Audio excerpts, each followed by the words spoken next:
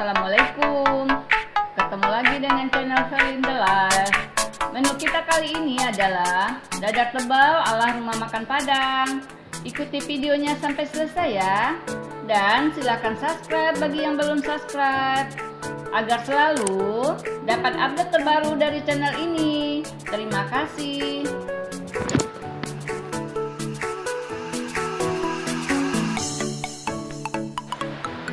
Bahan dan bumbunya 6 butir telur ayam 1 ons cabai merah setengah sendok teh lada bubuk setengah sendok teh kaldu bubuk 1 sendok makan tepung terigu 1 sendok teh garam dapur setengah sendok teh penyedap rasa 1 lembar daun kunyit yang sudah kita iris-iris 1 tangkai seledri yang sudah diiris 3 lembar daun jeruk yang sudah kita iris-iris.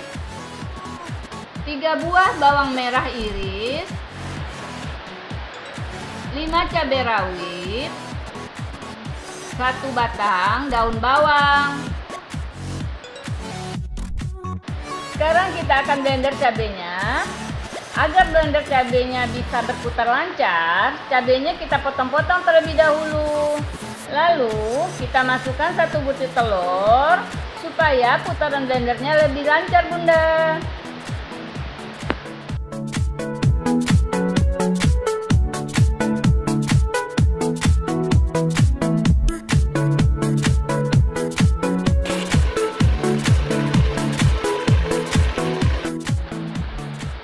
Sekarang kita masukkan semua telur ke dalam mangkok.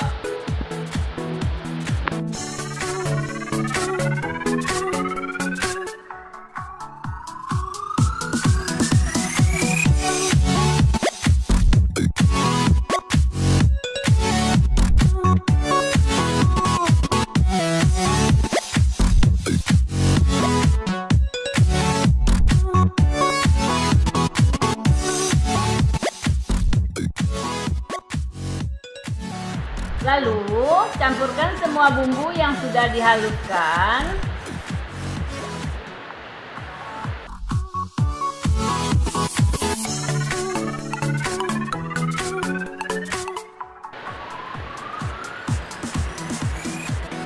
Masukkan bumbu yang sudah diiris-iris. Bawang merah. Daun bawang.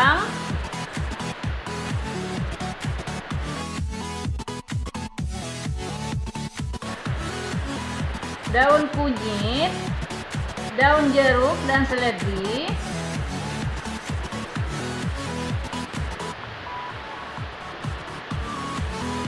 tepung terigu dan semua bumbu bubuk lainnya.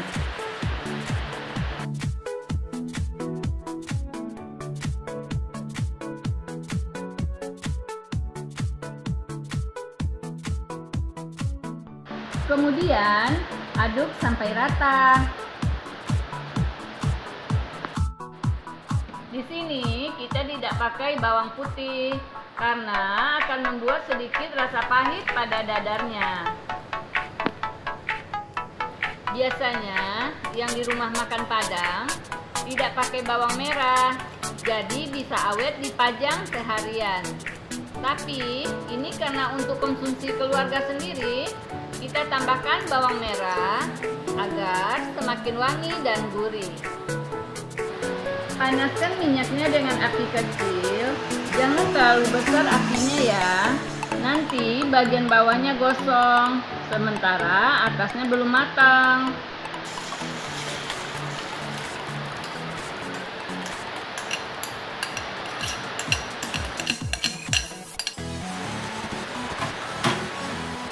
Aduk dari pinggir ke tengah agar yang sudah matang kecampur dengan yang belum.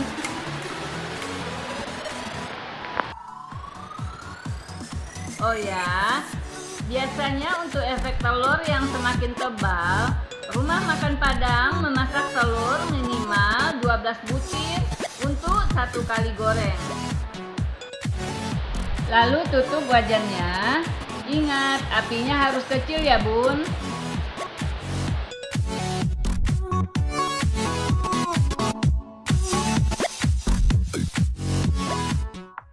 Sekali diperiksa apakah dadarnya sudah matang apa belum. Kalau sudah merata matangnya, dadarnya kita angkat lagi.